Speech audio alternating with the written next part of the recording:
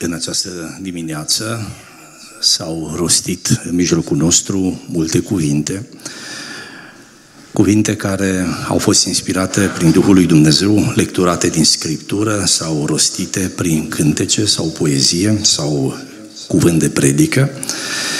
Lângă aceste cuvinte, îngăduiți-mi, înainte de momentul culminant al acestei slujbe, reprezentat de actul cununiei, celor doi miri, de rostirea legămintelor și a rugăciunii înaintea lui Dumnezeu pentru ei, să vă împărtășesc un scurt mesaj.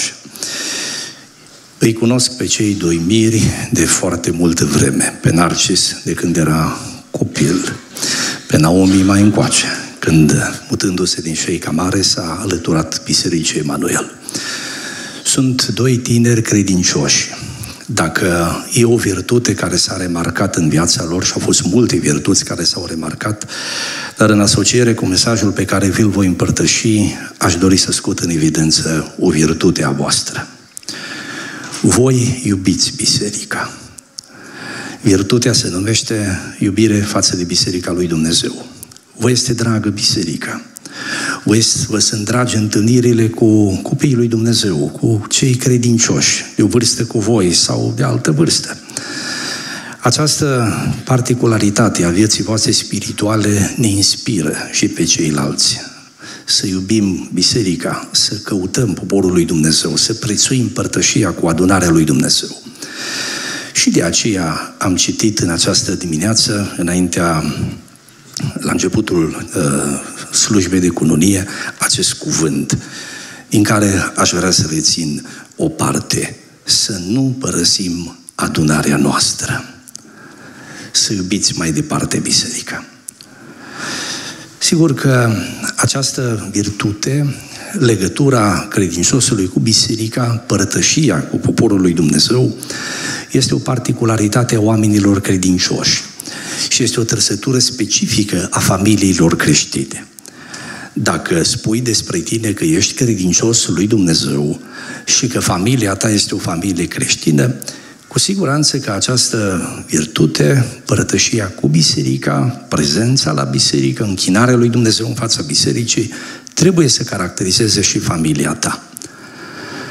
Noi trăim vremuri în care, în dreptul unor creștini, se poate observa această oboseală, obosire în a veni la biserică.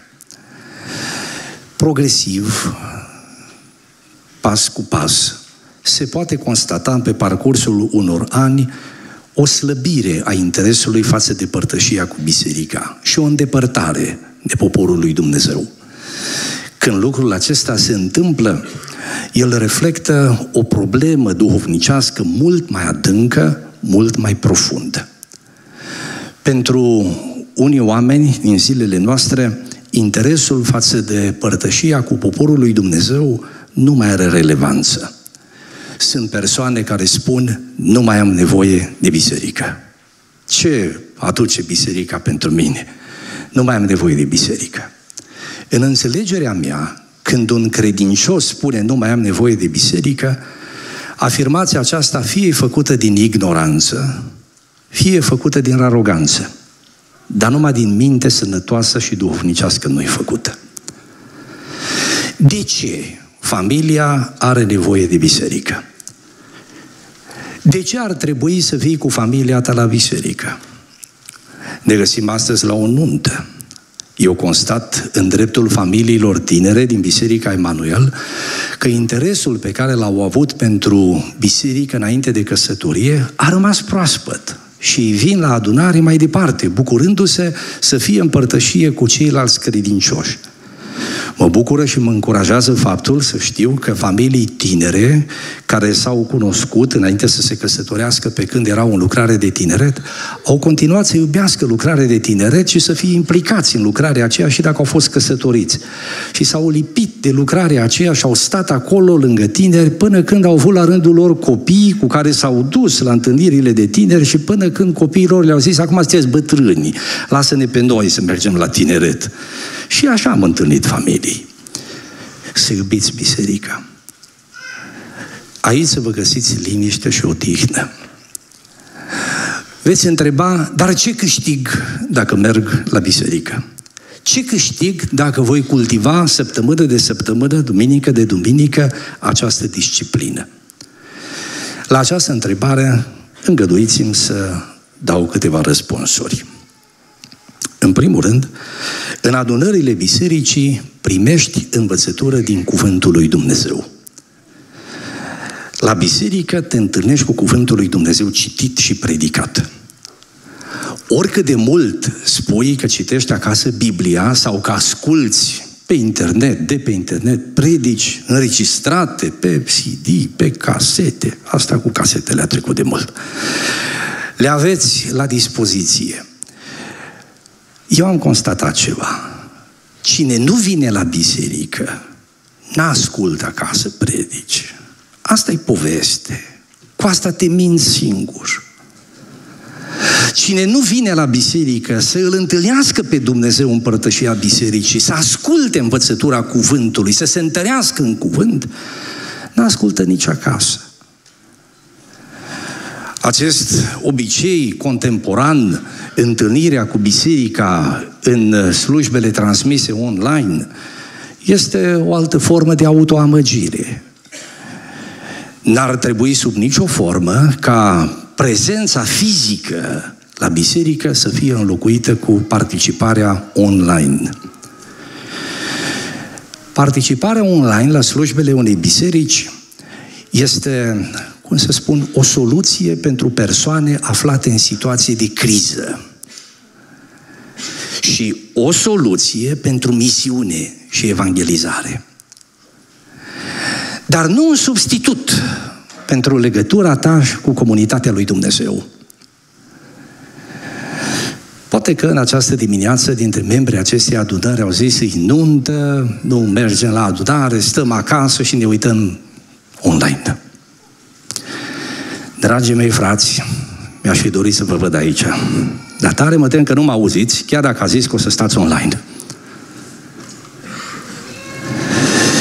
Împărătășia cu biserica găsești cuvântul lui Dumnezeu prin care te întărești. Numărul 2. În adunările bisericii te închini Domnului împreună cu alți creștini. Acolo interacționezi cu alți copii ai lui Dumnezeu. Rugăciunea comună, cântarea în comun, participarea la slujbele pe care le avem la oaltă, la cina Domnului, la sărbătorile pe care poporul lui Dumnezeu le are, asistând cu bucurie la întoarcerea oamenilor la Dumnezeu cu ocazia unui botez în apă, sau atâtea altele care te aduce în asociere cu alți creștini, împreună cu care te închin lui Dumnezeu și cauți prezența lui Dumnezeu.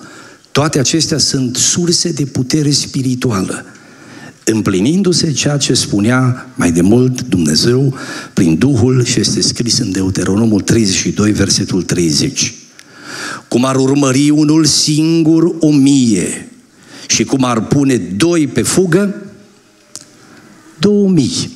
Deuteronomul 32, versetul 30. Cred că e, e bine pus cuvântul. Uitați-vă, vă rog, la această sinergie. Cum ar pune unul singur o mie din ei, cum ar pune pe fugă, ar urmări. Unul o mie. Și te aștepta, după matematică, doi tu o mie. Ca dacă eu înving o mie și tu o mie, când punem la oaltă puterea noastră, ar trebui să însemne dublu. Dar uitați că nu-i dublu. Doi la oaltă pun pe fugă zece mii. În unitatea creștină, în unitatea familiei pusă în prezența lui Dumnezeu, în biserica lui Dumnezeu, există această sinergie care înmulțește surprinzător puterea și eficiența. Trebuie să vii la biserică pentru că aici întâlnești cuvântul și aici te închini cu alți creștini. Părătășia bisericii te ajută să crești din punct de vedere spiritual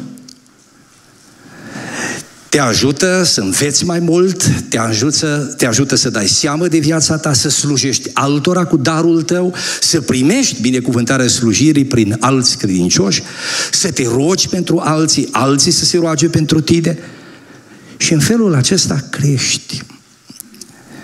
Creștinii care nu cultivă legătura cu biserica nu cresc duhovnicește. Înaintează în vârstă fără să crească în credință. Familia ta are nevoie de biserică, dragă Narcis. Dumnezeu îți dă astăzi statutul de cap de familie. Familia ta are nevoie de biserică. Dumnezeu va binecuvânta familia voastră cu copii. Copiii voștri vor avea nevoie de biserică. Această nevoie e o nevoie propovăduită de Scriptură și recunoscută de copiii lui Dumnezeu și împlinită în mijlocul acestor părtășii, ca cea din această dimineață. Numărul 4. Familia unei biserici te scoate din izolare egoistă. Putem observa cum mulți oameni se izolează, se închid, și încep să alerge pentru ei și numai și numai pentru ei. În cazul acestui iz- izolaționism este că el cultivă egoismul. Și în cercul acela îngust al egoismului ești tare nefericit. Prezența în mijlocul unei adunări, a unei comunități, cum este biserica, te scoate din această izolare. Te pune în asociere cu alți credincioși, cu alți oameni, ca tine, Oameni pe care îi cunoști, oameni împreună cu care formezi o comunitate. Și după cum într-un corp sunt mădulare care compun corpul acela și sunt legate la oaltă, la fel biserica este formată din oameni care interacționează, se relaționează, au între ei comuniune și în felul acesta formează o comunitate. Această comunitate îți dă sentimentul apartenenței. Familia are nevoie de sentimentul apartenenței. Și Biserica lui Dumnezeu reprezintă cadrul cel mai bun ca o familie credincioasă să aibă parte de comuniune, de părtășie. Să iubiți biserica, să fiți aproape de poporul lui Dumnezeu. Dumnezeu să vă ajute. Numărul 5. Împărtășia unei biserici găsești protecție. Trăim vremuri complexe. Îi aud pe unii spune, n-am nevoie de biserică. Și de regulă când spun vorba aceasta, ei se simt pe cai mari. Sunt sănătoși, le merge bine, sau cel puțin cred că sunt sănătoși și le merge bine. Nu simt nevoie de a primi ajutor din partea cuiva, din potrivă, se uită la viață, se uită la oameni cu un aer de învingător. Încep bine dimineața și nici nu știi ce poate să aducă o zi până la amiaza ei. Nu știi ce se poate întâmpla până pe seară. Încep săptămâna cu voie bună și pe la mijlocul săptămânii sau spre sfârșitul ei porți haine de doliu. Dumnezeu să ne ferească de situații de acestea. Dar se se întâmplă la oameni. Toți oamenii au necazuri. Un om al lui Dumnezeu a spus că a rare ori ți este dat să vezi o persoană care pentru o perioadă mai lungă de timp să n-aibă niciun necaz. Mai devreme sau mai târziu, necazul te va căuta și pe tine și vei fi vulnerabil vei simți nevoia să fii ajutat. Să se roage cineva pentru tine, să-ți spună cineva o vorbă bună, să-ți întindă cineva o mână de ajutor, să-i pese cuiva de tine. Biserica oferă cadrul acesta. Nu există în societatea omenească nicio comunitate care să servească omul aflat în criză cum o face biserica. Ține-te de biserică. Și când o să te bucuri, se vor bucura toți. Și când o să ai necaz, vom fi lângă voi. Suntem și lângă cei care stau departe de biserică. Încercăm să-i căutăm, să-i aducem înapoi, deși constatăm pentru moment că nu vor. Să iubiți biserica. Biserica este un cadru în care găsești protecție. Legăturile frățești, părătășia frățească, bucuria slujirii creștine te va face și să dai și la vreme potrivită să accepti cu smerenie să fii ajutat. Este și asta o dovadă de smerenie. Să accepti ca alții să se roage pentru tine și să-ți întindă o mână de ajutor. E o dovadă de smerenie. Încă ceva, ultimul gând, înainte ca să ne rugăm lui Dumnezeu pentru voi, biserica, familia unei biserici îți oferă cadrul în care să participi la misiunea lui Dumnezeu în lume. Îți dă sentimentul semnificației și a participării la lucrarea lui Dumnezeu, a misiunii lui Dumnezeu în lume. Lucrul acesta este foarte prețios pentru copiii lui Dumnezeu. Eu am băgat de seamă că fiecare om, indiferent că este creștin sau necreștin, își dorește în viață semnificație. Împlinire. Ce să fac să fiu satisfăcut, să fiu împlinit? Sentimentul semnificației este un sentiment, este o dorință legitimă a ființei umane. Până și Domnul Dumnezeu, după cărui echip și asemănare am fost făcuți, a exprimat această nevoie. Vă aduceți aminte că în cartea Geneza este descris că Dumnezeu a făcut lumea și după ce în șase zile a săvârșit întreaga creație, în ziua a șaptea Dumnezeu s-a odihnit. De bună seamă că sensul acestei exprimări nu e că a luat repaus ca să-și refacă puterea, că a fost ostenit, Dumnezeu este atot puternic și nu obosește. Sensul acesta al zilei de odihnă, sensul e semnificație. Dumnezeu s-a uitat peste ce a făcut și toate erau bune și s-a odihnit, adică s-a bucurat. Această odihnă, această semnificație, o are Duhul Sfânt, care lucrând în noi, întoarcere la Dumnezeu, credincioșie față de Hristos, constată că am crescut în credință și am fost puși în fața unui test greu, să suferim pentru numele lui Dumnezeu nedreptate. Din cauza lui Isus Hristos, baciocoră, marginalizare, persecuție. Și cu maturitate, și cu răbdare, și cu dragoste de Dumnezeu, acel creștin în care se găsește Duhul Sfânt își asumă această condiție.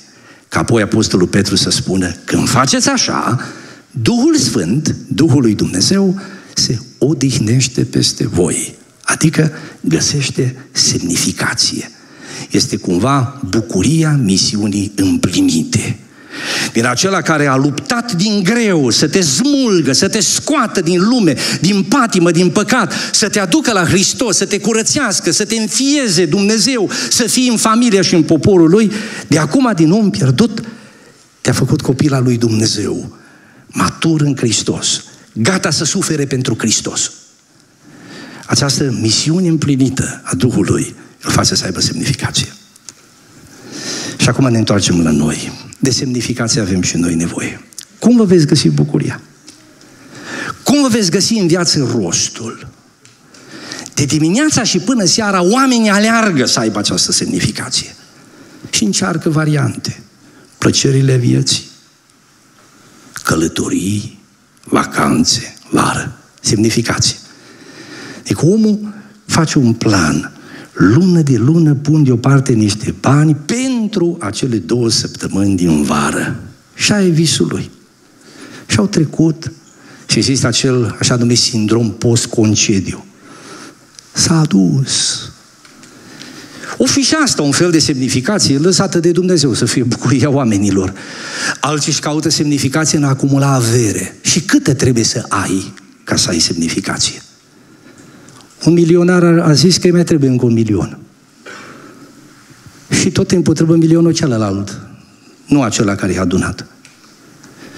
Ați auzit de oameni foarte bogați care s-au sinucis? De oameni care au gustat toate ofertele pe care le poate pune la dispoziția unui om lumea aceasta și care au sfârșit în depresii și s-au sinucis prin hoteluri sau la sfârșit de concerte, s-au murit o supradoză de droguri. De ce apelează oamenii la droguri? Că nu mai pot de fericiți? Ce le mai lipsește? Știți ce? Hristos, care este turnat în viețile oamenilor împărtășia bisericii sale. Și acolo se formează o comunitate. Și Și în comunitatea aceea îți dai seama că găsești semnificație și o găsești cum? Nu luând de la comunitate, ci oferind comunității. Cei mai fericiți creștini sunt cei care își aduc în puțin sau mult, cât pot ei, contribuția la înaintarea comunității lui Dumnezeu. În izolare nu găsești semnificația. O găsești doar în comunitate. Și în comunitate când dai ceva acelei comunități. Voi de azi veni la cor, ați și tot timpul câștigați de acolo. Să nu spuneți că nu e așa. da. Slujirea creștină va pus și împreună să vă cunoașteți și să formați astăzi o familie. Îmi doresc din suflet, dragă Narce și Naomi, ca această virtute pe care am observat-o la voi de când vă cunosc, să vă însoțească și mai departe. Virtutea iubirii bisericii. Să iubiți biserica. Pe Domnul Isus îl iubiți. Lucrul acesta de asemenea a fost remarcat. Acum, dragostea față de Hristos să vă țină mereu în mijlocul bisericii sale. Poate că Domnul va rândui cum noi ne dorim să fie, să îmbătrâniți în Sibiu, în Biserica Emanuel, și aici să vă vedeți copiii și nepoții și strănepoții. Poate că Domnul va rândui să vă mutați în altă parte în lume. Cine știe ce aduce o zi, ce răsturnări de situație și ce viziune va pune Dumnezeu în fața voastră, ce uși va deschide. Poate că asemenea neamurilor voastre vă veți muta în altă țară. Am o rugăminte pentru voi. Primul lucru pe care să-l căutați acolo unde vă veți muta, dacă vă veți muta, să fie biserica. Abia apoi un loc de muncă. Dacă e un oraș frumos, care oferă de toate, dar nu biserică, să nu vă duceți acolo. Puteți găsi de toate și unde este biserica lui Dumnezeu. Acolo să vă duceți doar dacă Duhul Sfânt vă trimite pe voi ca misionari. Și în urma voastră să rămână o biserică. Îmi doresc din suflet ca toate familiile să fie binecuvântate de Domnul. Și acest cuvânt pe care am avut pe suflet să vi-l împărtășesc, să nu-l lăsați deoparte și să-l țineți aproape de suflet. Ai nevoie de biserică mai mult decât are nevoie biserica de tine. Această afirmație nu e spusă din gura unui predicator arogant, ci din inima unui familist convins. Familia are nevoie de biserică mai mult decât are biserica nevoie de familie. Domnul să fie cu noi.